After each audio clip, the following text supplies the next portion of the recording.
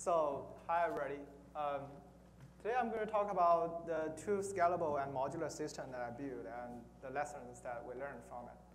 So, um, to begin with, machine learning have been impacting our lives. I think that's one reason why all of you come to this conference. In many aspects, for example, it improves our online advertising, it's everywhere in our lives, and it helps you to do scientific explorations, like analyzing the data from large Hadron Collider. And on the, on the center of the machine learning algorithms, the real center is the, this is machine learning systems that helps you to, be, to scalably analyze the data that you have and being able to push your ideas into production. So today I'm going to talk about two systems that I built in the past. Um, that, that's going to solve, I, I would say, almost all the possible kind of problems that you can expect because normally the practical machine learning algorithm that you can use in, in practice is not that, is not that, that, that a lot. So the first thing I'm going to talk about is, uh, is, a, is a system that's going to solve half your problem. So normally if you look at the data that you have, um, if your data is tabular data, which means that if the data pull, can be pulled out from database or any, any possible like data frames that you have, tree-based method is a great way to solve those problems. And uh, uh, among all the possible tree-based algorithms, Boost is the algorithm that uh, many of the data scientists use and actually use to win the state-of-art state competitions in those data science competitions. And, uh, and this is the first system that, uh, that I'm going to talk about today. So XGBoost has been around for a couple of years for now, and uh, I'm sure that some of you have used it. So I'm not going to talk about the old details. I'm only going to give an update about what are the new stuff that we have in there. So XGBoost is great, and it's getting better.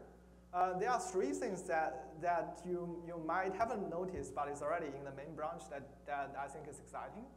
Uh, one of the first things that's, that's new is that XGBoost now support this kind of function called monotonic uh, functions that, are, that allows you to place monotonic constraints on input and output. For example, if you want to predict the price of your house, you would likely want your price of house to be monotonically increasing according to number of squares in the house. Otherwise, uh, you, will, you, will, you, will, you, will, you wouldn't be satisfied at a prediction. There are other such, there are a lot of cases that that have this use, use case that requires monotonic constraint. So um, we support monotonic constraints automatically so that you can place the monotonic constraint that you want and the model will, will preserve that constraint and, and it will, it work perfectly for your purpose. Of course, we'll talk about the XGBoost, one of the most important things you want the training to be faster. It's already the fastest algorithm that you can have uh, in, to do gradient boosting, and it's actually getting faster. So we are, we are adopting a new histogram-based algorithm that can give you more than 10 times speed up in using single-threaded, and with multi-threaded version is a bit slower, but still it gives you like uh, four to seven times. So that's a great option that you can try, and gives you far, even, even better speed ups. Uh, finally, there's a new GPU-based module that if you, are, if you have a GPU, then it's likely that you can use it to gives you another four times speed up. Uh, in, and and there, there's a combination of the GPU module and the histogram-based method that I talk about that's announced in this year's GTC. And we'll be pushing it together with NVIDIA so that uh, uh, this new module will give you even better speed ups, speed ups with GPU. So that's all for the XGBoost. And uh, I'm going to focus the rest of the time of the talk on the second system that I built. So I've talked about that. There's, there's like one method, one toolkit that can solve half your problem. So, so you have another half of a problem that usually, uh, okay, so, so last thing. So when, when you talk about XGBoost, I think one of the most, most important thing that usually uh, isn't talked a lot about in academic is that uh, you don't you don't only want your method to be accurate and uh, and useful. You want your system to be portable and modular. In the sense that uh, uh, if, you're, if, if you're building a, a, production system, usually you already have some existing systems in your, in your production environment, for example, Hadoop or Yarn or some in-house distributed system that you have. and you don't want to directly kill that your old system and, and port, that, port that to a new machine learning, whatever machine learning product that others want to sell to you. So XGBoost adopts another philosophy called Unix philosophy. So instead of trying to build an entire platform that solves everything, we try to build a, a modular module that you can plug in into arbitrary languages and arbitrary platforms. For example, currently XGBoost supports Scala, Python, C++ interface, and, uh, and R interface. So you can, you can run those an, an, an analytics in arbitrary language that you have. And we have a distributed module that can be directly plugged into existing distributed systems like uh, Flink, Spark, and other in-house distributed systems so that uh, whatever system you have, you can directly take XGBoost module, put it in there, and integrate uh, with the existing data processing pipeline and other, other systems you have. So modularity is actually one, one of the most important things, in my opinion, in designing all those scalable deep learning, uh, scalable machine learning systems. So this brings the second half of uh, second half of my talk and another system. So if you want to talk about uh, machine learning, solve all your problems, tree-based model solve half a problem, another half problem is going to be solved by deep learning. So uh, that's a simple rule that to, to, to go. Like if your data is tabular, try tree-based math first. If your data is images, audio, speeches, text, maybe try deep learning. So, so um, we built this toolkit called MXNet, which is currently actually uh, already greatly adopted in AWS. Um, so this is a system that we build that reflects all the philosophies that we have actually also in XGBoost, in a sense that we want the system to be scalable, we want, to, we want it to be flexible, and we want to be modular so that it can port, it, it, it can greatly port to any of the existing production systems that you have. So I think flexibility is one of the most important things that MXNet emphasizes. So normally if you look at existing deep learning systems, you get two kind of programming paradigms. So if you look at a system like TensorFlow or Theano, you get this declarative type programming like SQL. You declare what you want to compute, you feed it to the system, the system is a black box that optimizes the computation for you, and it gives you a result. This is great for engineers where, who want to optimize their tasks. However, this is kind of like a black box to researchers who want to explore great details of, of, the, of the experiments. So there are other type of system that's called imperative system, where you, you program and the, the code execute as you go. You can interactively uh, interact with the code, like system like PyTorch and, uh, and uh, uh NumPy is this type of systems. So um, declarative system is, is have this great property that you can you can utilize this black box, you can get the entire computational graph, and you can optimize for it. So it gives you great chance for optimization. Imperative programs give you the great chance for flexibility. Most of the existing deep learning systems only adopts one paradigm, like TensorFlow goes for full declarative, PyTorch goes for full imperative. So in MXNet, we think these two paradigms are very useful and want to get best of both worlds. So what we do is that we have a unified interface that supports both a declarative API that allows you to declare the computations and, uh, and the imperative API that allows you to declare arrays and uh, do those computations as if they are NumPy arrays. By mixing those two APIs together, you can have you can, you can have researchers doing flexible explorations using the imperative API while doing the heavy lifting job in the declarative APIs. So that uh, in practice, it gives you better product productivity as well as the, as well as efficiency in terms of programming. So being flexible is important. Another very important thing is they want to be able to scale your computations to, to different workloads. And that's exactly one of the reasons that we built XGBoost. And we, we follow the same philosophy in MXNet. Um, one of the things about being scalable nowadays is that you don't only want to use, utilize one CPU devices. You want, you want to utilize different devices like GPUs or even customized hardware. And, uh, and you, you don't want to utilize only one of them. You want to utilize all the possible resources that you have. This brings a problem because um, you, want, you want to utilize, you are essentially having a problem of doing parallel programming here. For example, if you want to program your neural nets on four GPUs, um, it's kind of a very tedious job if you want to do it in a very low level. The reason is that in order to get a very optimized program, you need to program, you need to do parallel, parallel programming that allows your computation to interleave with those communication with, with, between nodes.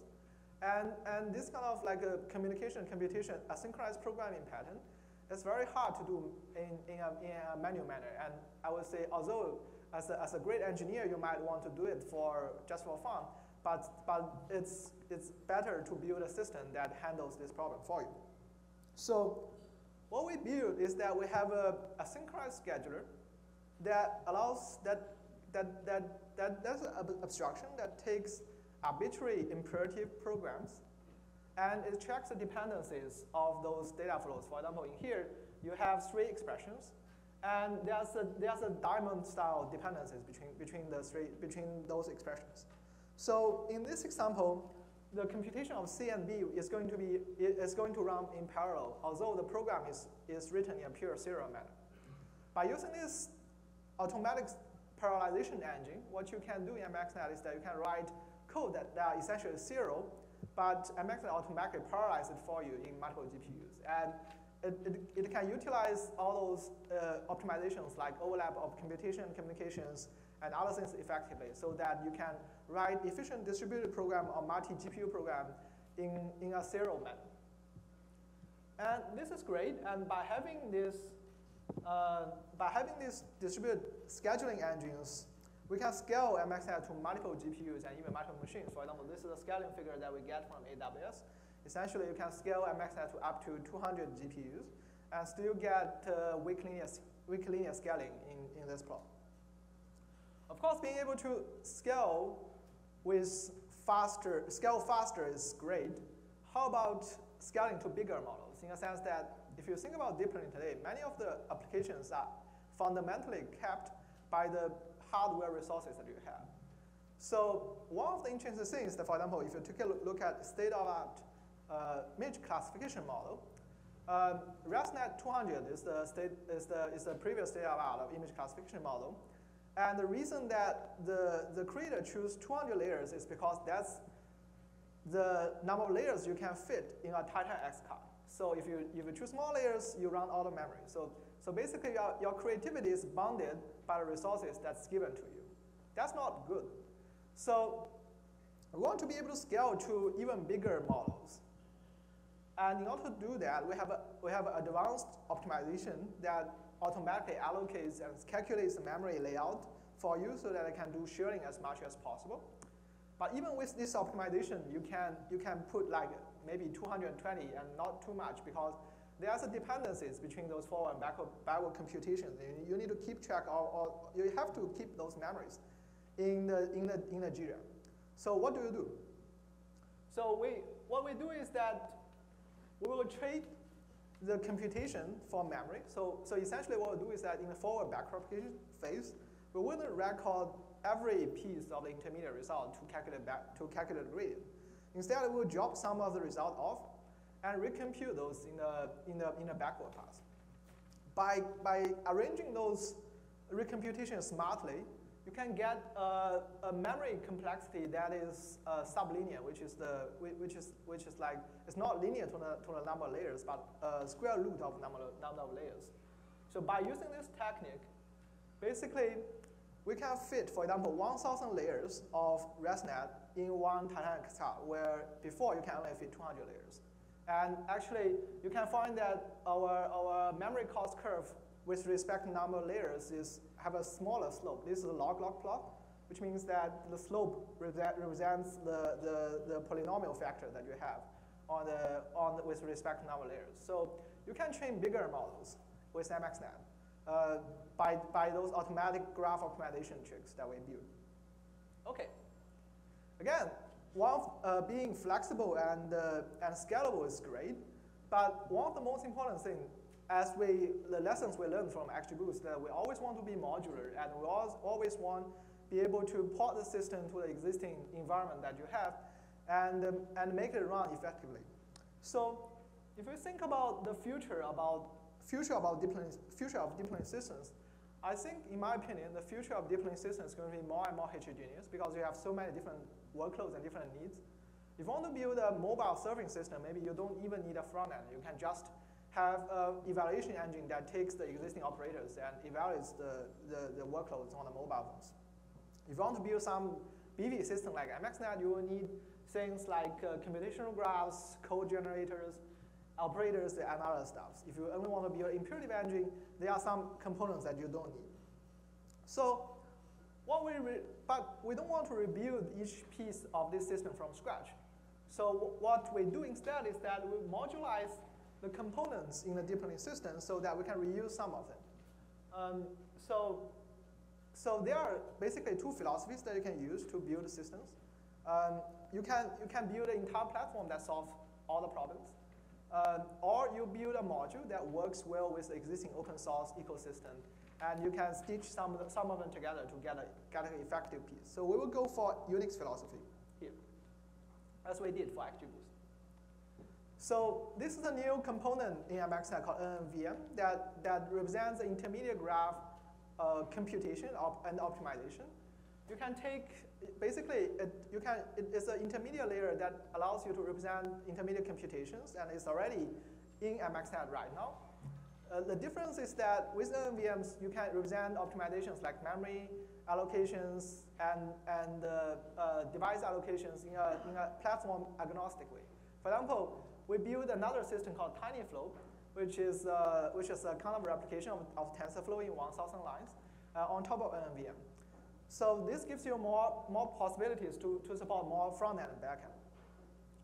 One of the challenges in here in building a common graph representation for different frameworks is that the deep learning have, have very different needs uh, than existing systems.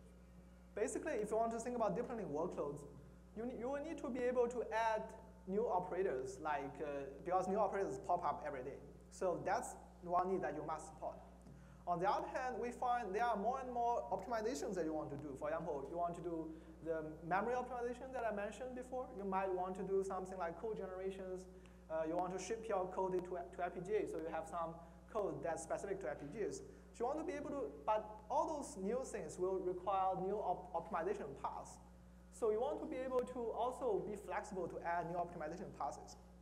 Supporting either of them is actually easy, and you have, you have existing systems that, that, that support either of them, but it's very hard to support all of them. So, for example, for example, if you take a look at existing systems, traditional deep learning system like Caffe or TensorFlow tends to, it's easy to add new operators because you have a predefined interface for operators. But it's very hard to add new optimization passes. On the other hand, if you take a, take a look at compiler system like LLVMs, it's very easy to add optimization passes, but the set of primitives that you have is kind of pre, pre, predefined, and uh, you, are, you are restricted to that set of primitives. So with NNVM, we, we try to decouple both and try to make adding new operator and adding new adding new optimization passes easy so that uh, it, it, benefits MXNet when we add new optimizations and op operators easily. So this is already in MXNet, and uh, we have already set uh, a few set of predefined optimization passes in NNVM that we are actively using in the system. So you can find that this is like a more high-level thing that you describe computational graphs and how you optimize computational graph in abstract way.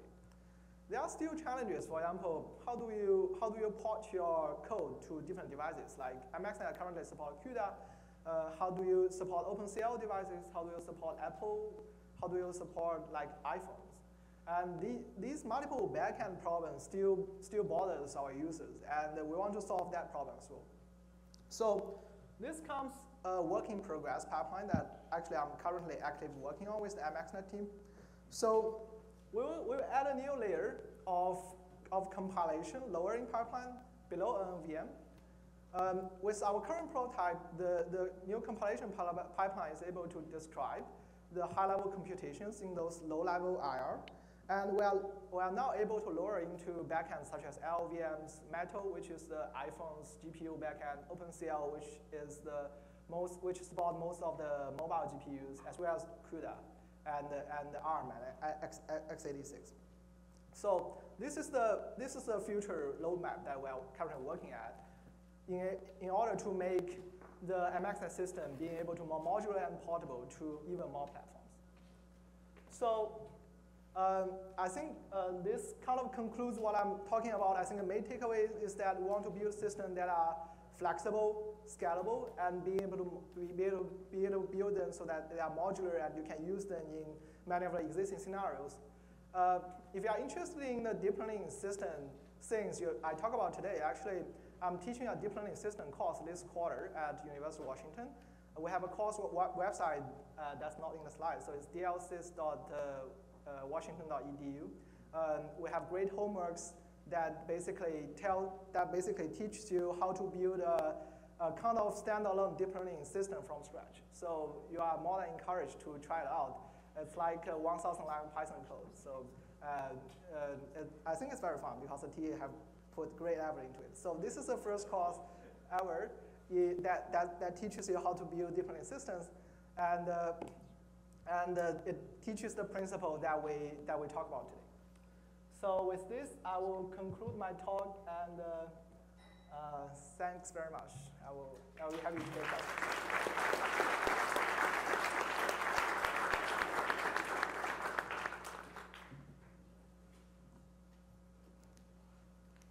So I can take a few questions, yeah. Please. You have this interesting uh, claim that uh, if you have tabular data, you will use tree-based system, mm -hmm. otherwise you use deep learning uh, system. I have a, I want to know your insights for three related questions. Yep. First, is the current uh, tree-based models reaching the ceiling for tabular data? Second, what prevents deep learning from doing well on tabular data? And third, what would be the breakthrough needed for deep learning to work on tabular data? So uh, I would say there's nothing preventing deep learning from working on tabular data.